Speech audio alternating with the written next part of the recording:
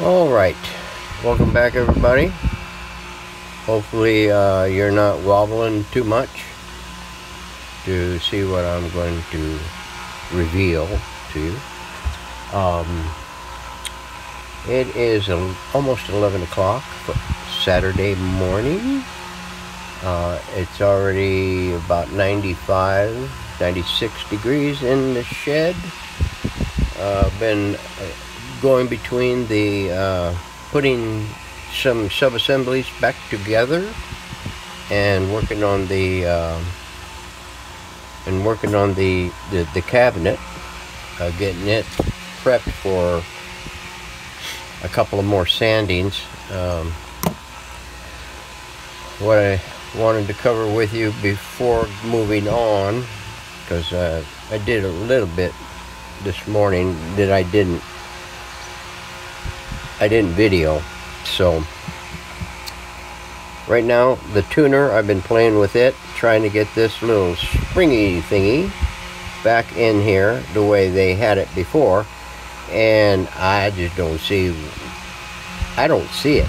So anyway, I modified this thing here so that it'd be much simpler to do. This this spring thing here I don't know why they didn't do it because it, it does come apart separate from the other thing. But I think the spring stayed on the on the tuner uh, rather than in combination with the base. Uh, but we didn't get it locked in there, so um, all the spring does is provide a little friction on the shaft the the drive shaft of the tuner. The this wheel here is just solely for the indicator. So yeah, there's two strings and two springs. Well, actually three if you count that one.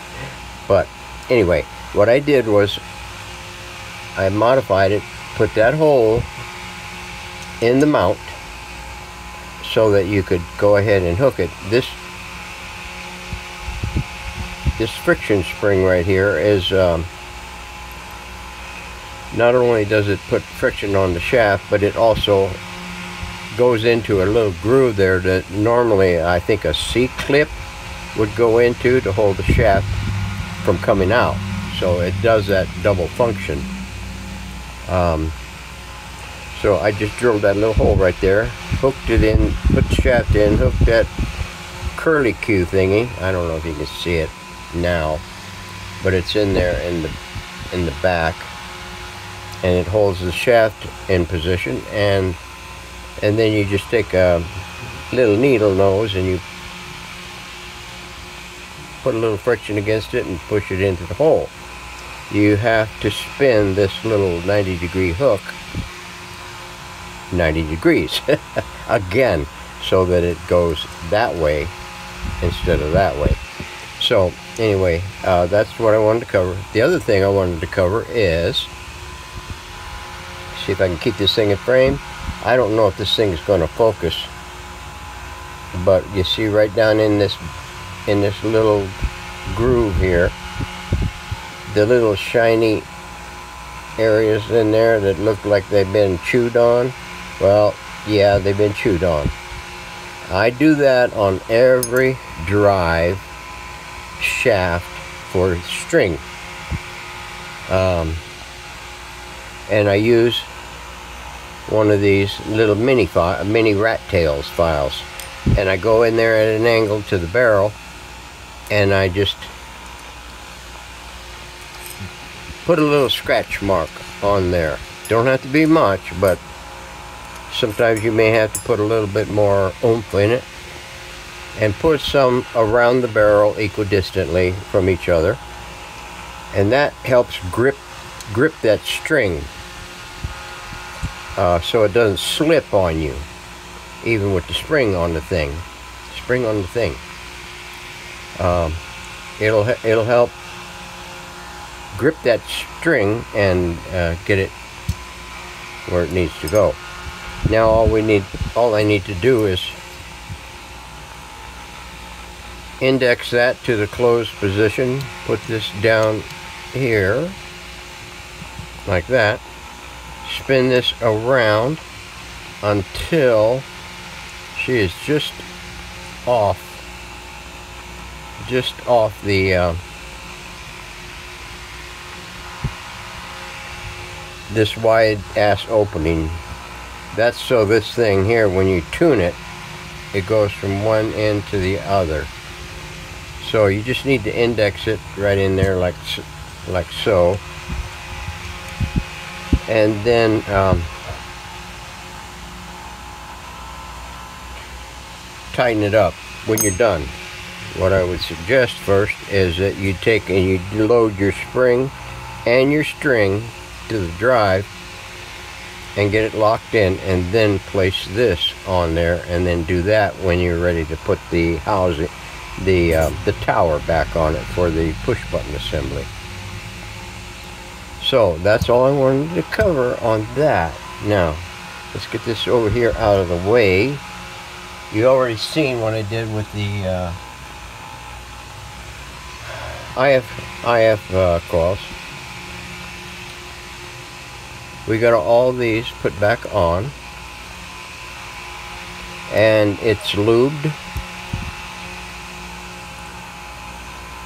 And ready to ready to go.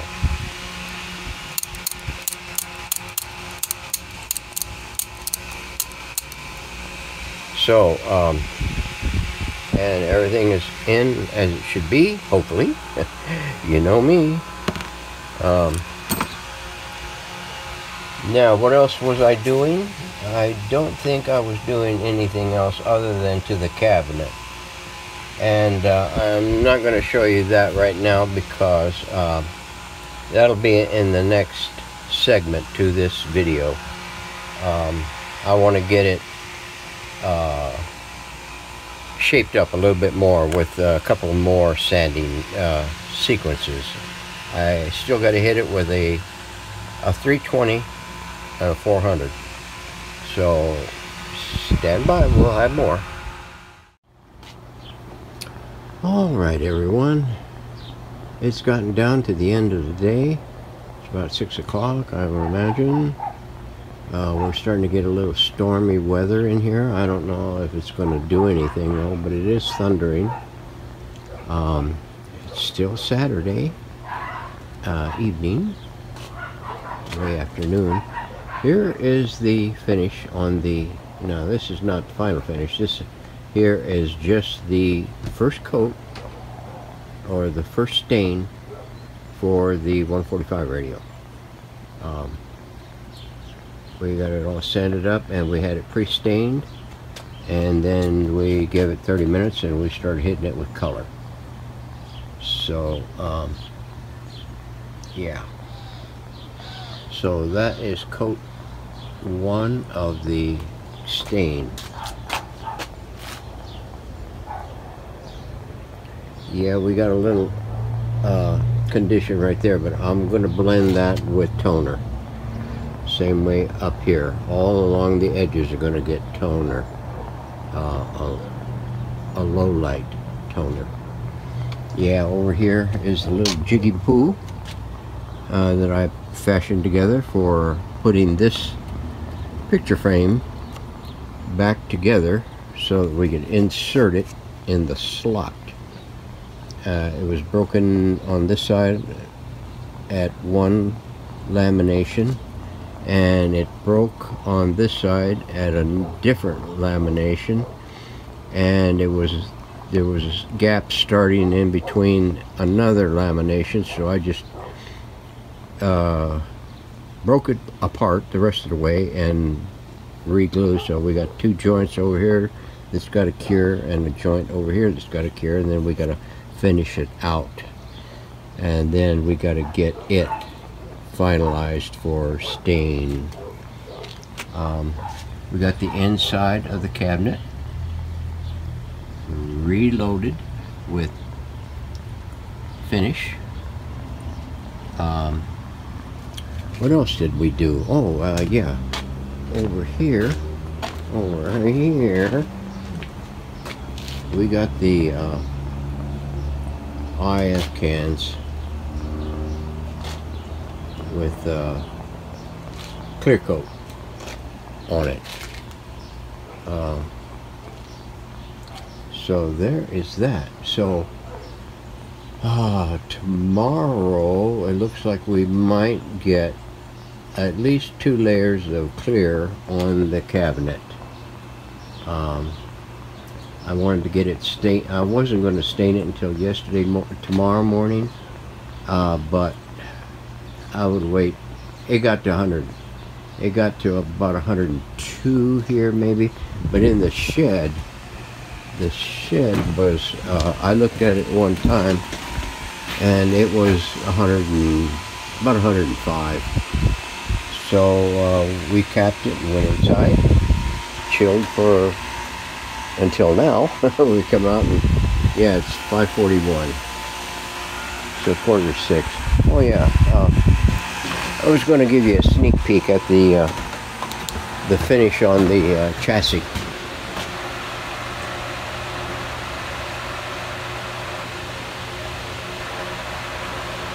There that is. We got the can of the transformer done.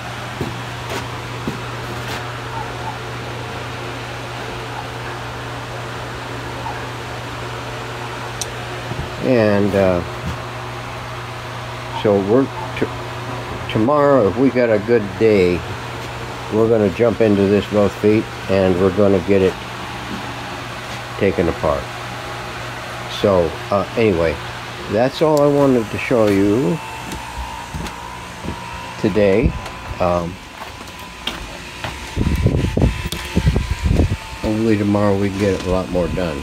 Uh, yeah, it's starting to get a little too well with the uh, the moisture coming in. Uh, it's it's a little drab, or starting to get a little drab. you know, uh, you feel uh, sticky. Starting to feel a little sticky. So anyway, that is it for today. We'll see you in the next video. Thanks for watching. Have yourself a good rest of the weekend.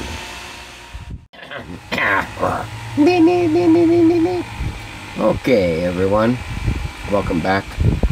Uh, I know in the last previous seg segment, uh, we was going to end that video at that point, uh, but it was only like 12 and a half minutes long, so I decided to just go ahead and elongate it some more with some more video today.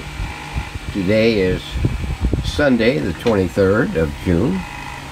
And a little after 9 o'clock out here in the shed. It is uh, about 86 degrees. We have some spotty clouds this morning. Sun is starting to peek through. Uh, so uh, hopefully we can get something accomplished before the heat comes up and uh, what I wanted to cover uh, was uh, what I did in order to get this uh, chassis ready. Excuse my frogginess. Uh, what we did originally was we safed off or masked off everything around this transformer can even up to the to the lip of this um, pan or the base of the uh, for the base of the uh,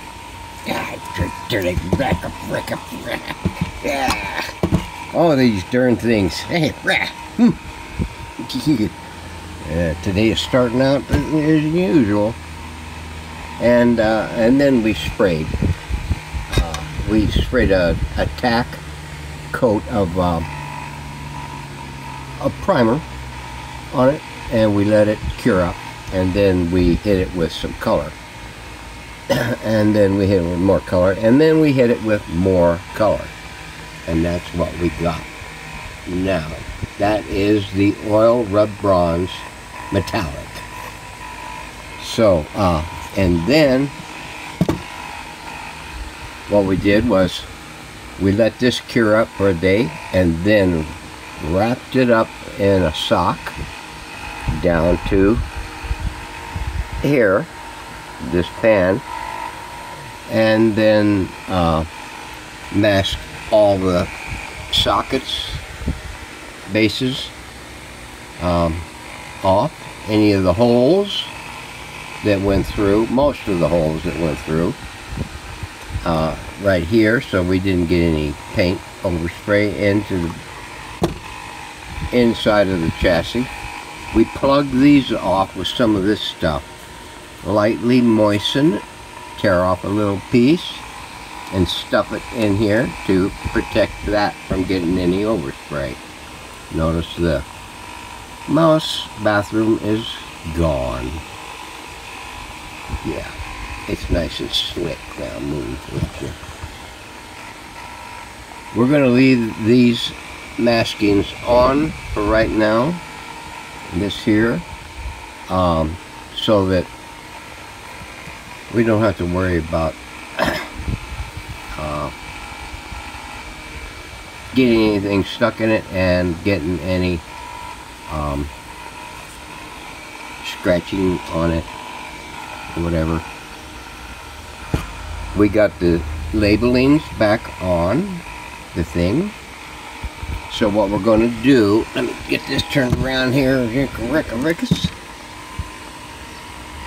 we still got our tacked in piece, well almost tacked in, and our tacked in here. Got a little overspray on that one. We're going to remove all of this stuff in here and open up these things up.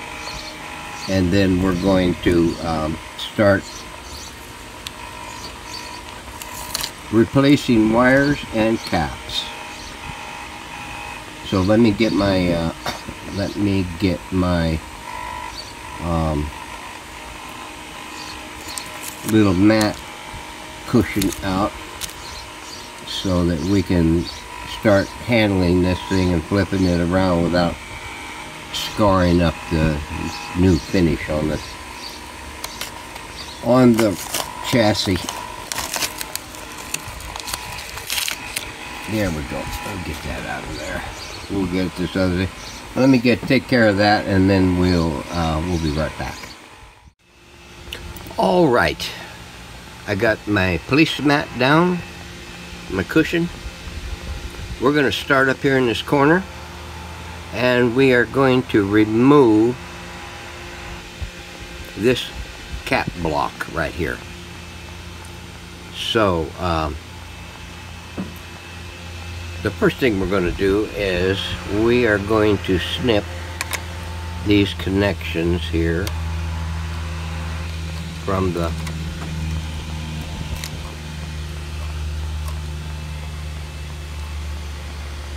from the block the cap block and uh, now there's two connections that I'm particularly concerned with and that is uh, these two wires right here. There's a there's a black wire and a, a white wire the white wire is the hot lead back into the transformer from the switch the two whites are the 120 volt lines and the black is a, just a ground this right here, this back lugs, you see there's lugs here and there's lugs here. This back lug is grounded through this screw. So there's two capacitors in here. They both share this lug that are fastened right in there. The hot comes comes up the hot lead, when I say the hot lead, I mean the hot lead from the 120 volt. There's a there's a hot lead and a common lead. The common is usually commonly white. Uh, you look in a in Romex or you look in uh, you look at a, in a, any box, any electrical box that has a, a fixture on it you'll have a white and a black wire. Well, the black wire is generally hot, what they refer to as hot, and the white is a neutral or a common. So the 120 volt from the power cord comes in and hooks to here. That's the hot lead. It is tied off to this side of the switch and the other side goes into the transformer. On this side, the common lead from the power cord comes in and ties to the same lug that this one is tied to. This is the common that goes in. This is the other side of your 120 volt line. That goes into the transformer. So the only two I'm going to concern myself with generally is the black lead that goes in or the ground lead that goes into the transformer and the white lead that goes into the transformer. Why do I concern myself with it? Because generally these women, oh, I should say these uh, constructors, uh, some of them don't leave you too much lead to deal with. Uh, I, this one here, there's plenty of lead that's wrapped around and goes down and loops in there. And I could just as well, and that's the reason why I cut these, because these here are all going to be replaced. These here go into the transformer, and I don't want to snip too much uh, on these leads because generally you may not have enough to tie back to the original point of connection. So what I'm going to do is, is I'm going to fire up the gun and we're going to go in here and we're just going to take these loose. We're going to desolder these.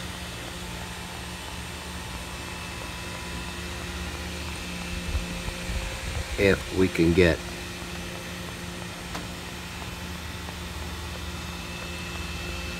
Now, see, there's just generally there's too much there's too much crap on the solder connection that it's going to take a while for it to get softened up so that you can get your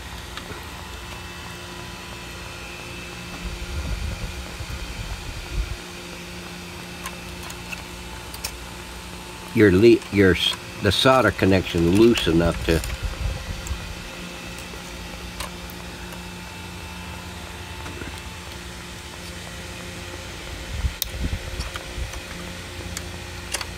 There we go. Finally. That solder was tough. And don't forget to clean off your tip. Uh, the tip of your tip. Uh, okay, so this here is free to come out.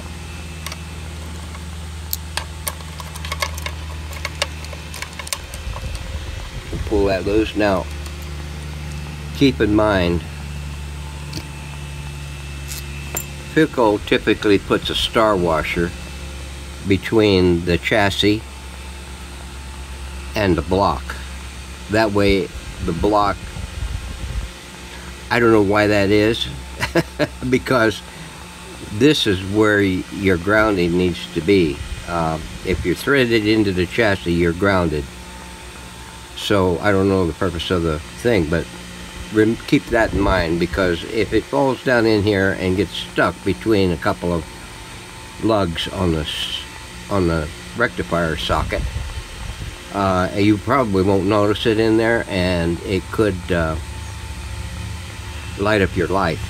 So uh, keep that in mind that if it comes to, if it, there's one in there and to double check on it. So uh, what we're going to do let me get set up for the next segment. What we're going to do is open this up. And all I'm going all I'm going to do is heat this so that it becomes pliable and it comes out of there. Now there are there are some on YouTube that got a little kit from somebody who developed a thing that you can push these these wax or this tar block out of the out of this casing uh, by drilling through uh, to the bare metal here, but not through all the way through. And uh, then you can heat it and then push a pin down through it that will push this block out. But uh, it's a pain in the butt. So let me um,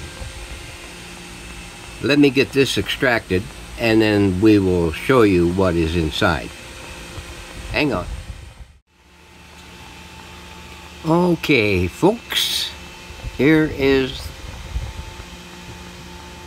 the thing after you extract the wax out. Now, you, I used my heat gun and it did a really nice job. It didn't take too long, probably about a minute and a half, two minutes uh, on high. And uh, which means this case, case gets pretty hot. So if you use one of those heat guns and everything, even if you don't, and you try to dig out the wax without heating it, don't pry against these sidewalls here, or the end walls. Don't try to, you know, take, do not, don't try and pry the things out by prying up on the thing like that, because you'll, you'll crack and split this case. But here's one and here's the other. These are supposedly are supposed to be the line filters one for the hot line and one for the neutral line or the common line uh, both of these connect to the grounded portion right here and one comes to here the other end and the other end of the other goes to the, that one that's what filters your line variant out of it, your noise. Um, so we're going to go ahead and extract. We're going to go ahead and extract these the rest of the way. Yeah. If I wasn't if I wasn't zoomed in partially, down here would be still in frame. So we're going to go ahead and extract these out and get them out of there and get the rest of the in the interior cleaned up and then we're gonna go in there with um, some Y2 caps. And let me show you what those are going to look like. Hang on. Okay. Here's what those are going to look like. Two of these. They're barely going to fit in there. So, uh,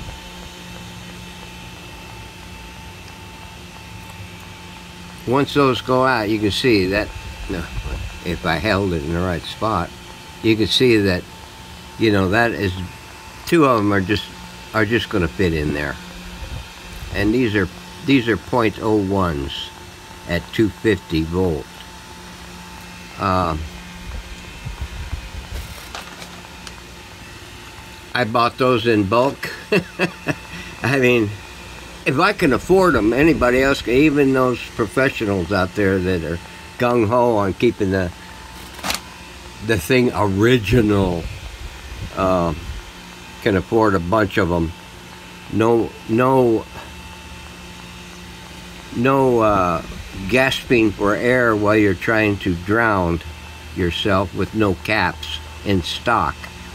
Well, I ordered them caps. They'll be in here any day. Well, no, I, I, if I got a schedule to meet, well then, well, I don't have to really meet it. But uh, if I have a schedule for doing radios and making videos, I make sure I got the stock. So, now, one other thing I wanted to cover with you real quick. You see here the Philco regular triple Fika Fracas 3903 ODG. Now, key that into key that into Google, do a search on it, and what you'll get, you should get, is diagrams of everything that Philco designed with these, of every possible capacitor block that they manufactured. And it'll show you the orientation and how many caps are in the block. and how they are connected. And then you can put that in your repertoire or your put that in your quiver or wherever you like sticking it. And uh, and that way you'll always have them so you can draw back on those in case you ever because some of these Philcos use up to I don't know maybe six of these blocks and they're all identified by their configuration. So keep that in mind. So now what we're going to do is we're going to clear this out and get those safety caps in there and connected. Hang on.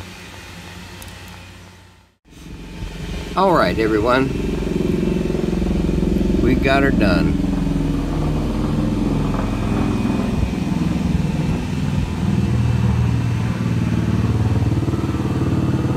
They just did uh, frick, frick, frick.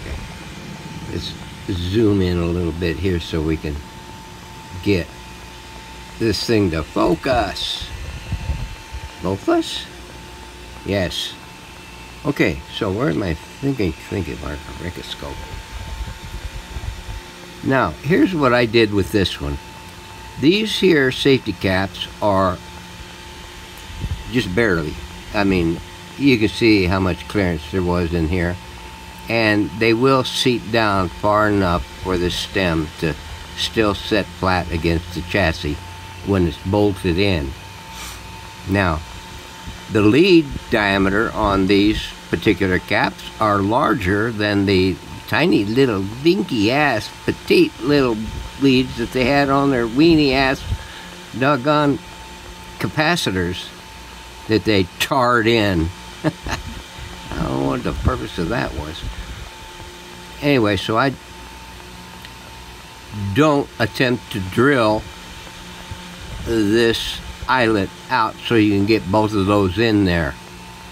Drill you a hole to one side or the other. Put your cap in to one side or the other. And then the other one you've got easily accessible. Otherwise, you know, you're going to be fighting those two into a tiny single little hole and you're going to get frustrated. And I do not like to get frustrated. So, even though I do get frustrated. But it's, you know, it's just habit, you know. So, both of those come through. This is your ground lug right here. It comes through. Both of those wrap around there. I got to still go to solder them in. The one on one side goes to this one, and the other one on the other side goes to that one. Now, there they are. So now, you know what you got what you got to do with these. At least these here that are right at the beginning point at the power line. The other ones on the other one are going to be configured a lot differently than these, and so you're going to have to go in there.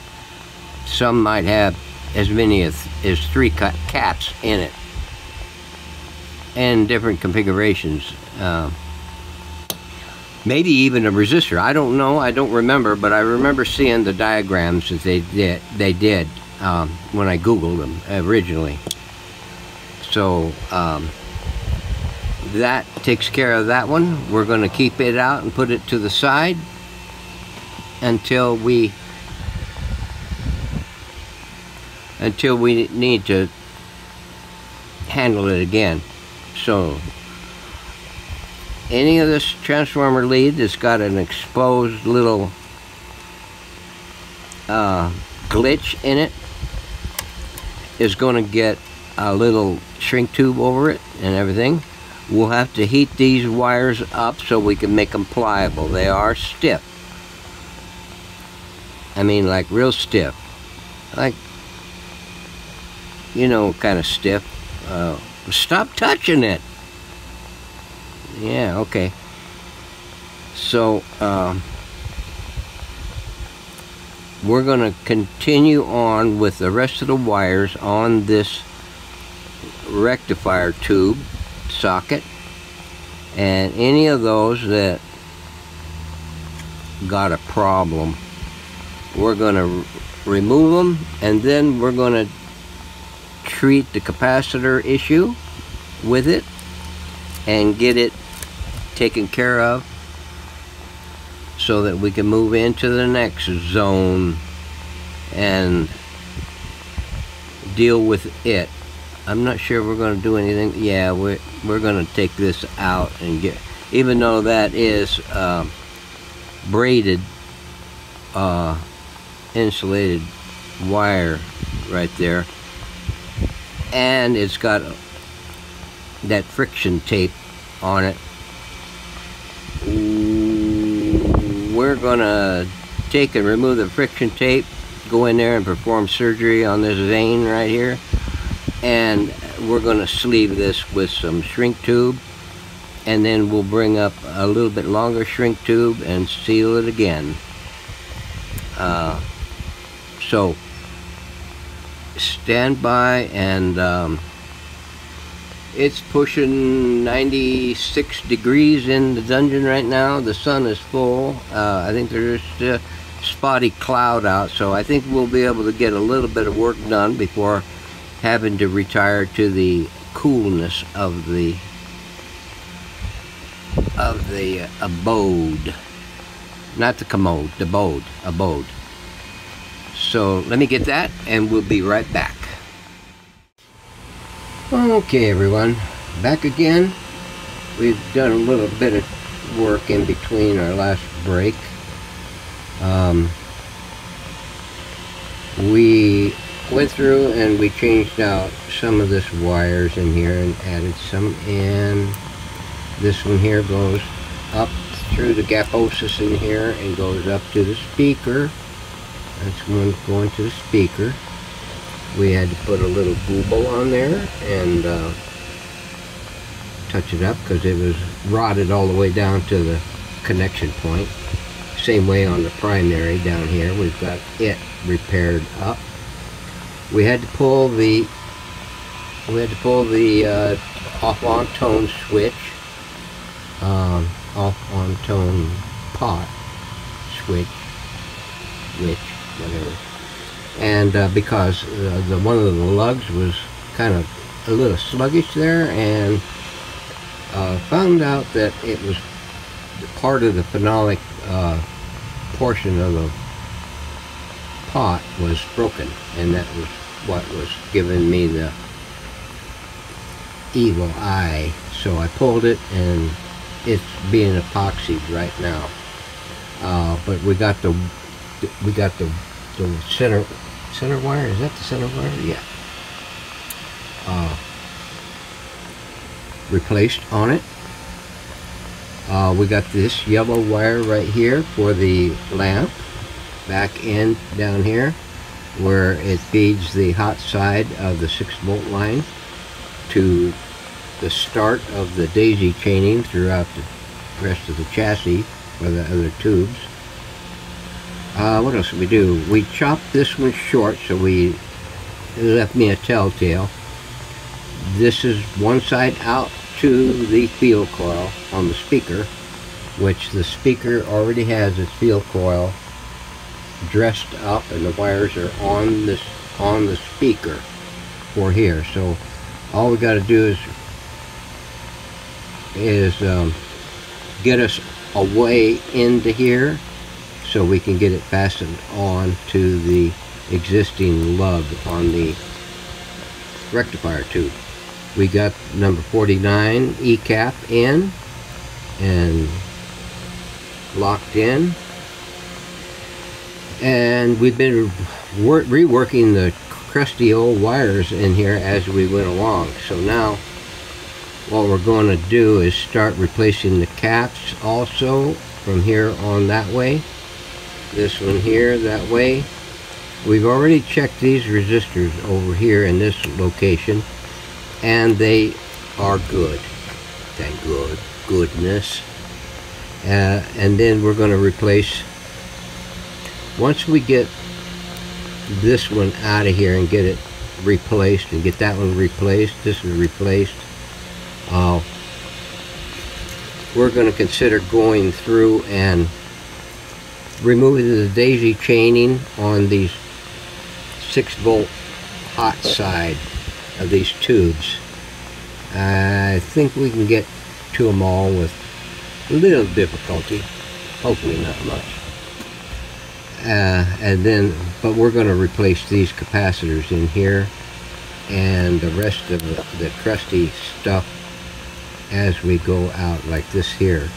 This goes up to the center uh, lug of the uh, volume switch. And this this blue one here, red one and the blue one. The blue one goes to the high side of the volume switch. So it is pushing 100 degrees. Yeah, 99, 98, 100 degrees. Might as well be. Uh, and here we're going to take a break, go in, chill down. Um, we still got to let that uh, cabinet cure up from the staining because it was it felt a little still a little tacky this morning I want it to be since the sun is out partially I'm going to put it out in the put it out in the uh, in the sunlight and let it bake for an hour or two as a matter of fact let me grab my coffee uh, let me shut down my halogens so they don't put me in the pole house. And we'll shut that down too, what the hell. Jeez. We don't want to go to the poorhouse too soon. Um, yeah, and I still got the picture frame for the uh, dial to do. Oh yeah. I forgot about this. This stuff is nasty. So if you get it out of there, let it let it cool. Really cool. I mean, and brush it off with a little brush, paintbrush or something like that, into a into a bucket or something and dump it. Because you don't want to be doing this at the kitchen table. because that stuff will get on everything this is still a little bit tacky. I'm going to put it out in the sun. And, uh, and let it bake until it's dry, dry.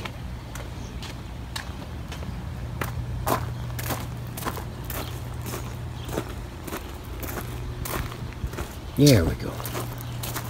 Out here on my my favorite dumpster.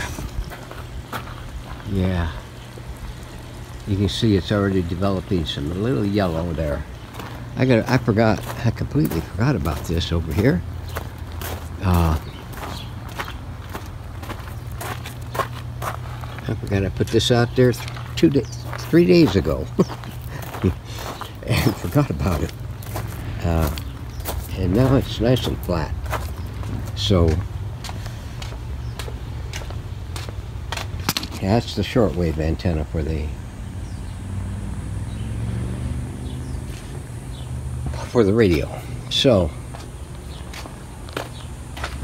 that all being said and done, we're gonna take a break. Thanks for watching. We're uh, put the rest of it in the next video. See you see you soon.